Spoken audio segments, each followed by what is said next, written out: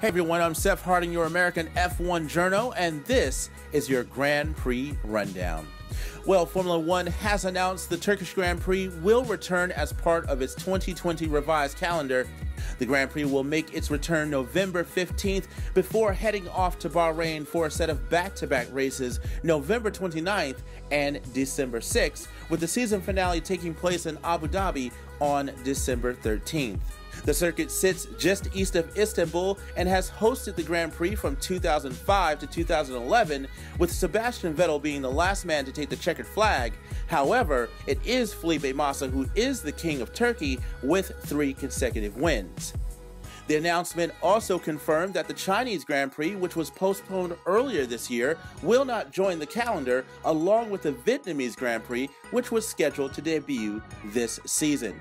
The four races will finish off the revised calendar, bringing the total number of events to 17, staying within Formula One's projected target of 15 to 18 races.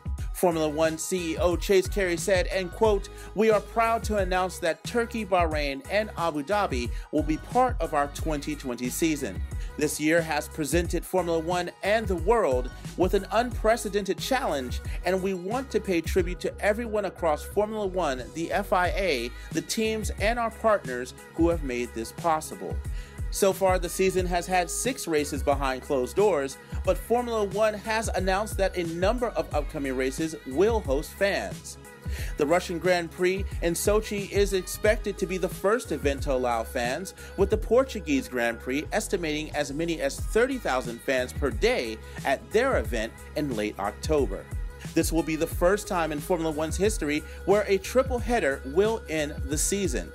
Bahrain will host back to back race weekends with the Yas Marina circuit in Abu Dhabi hosting the final round of the season as it has done since 2014.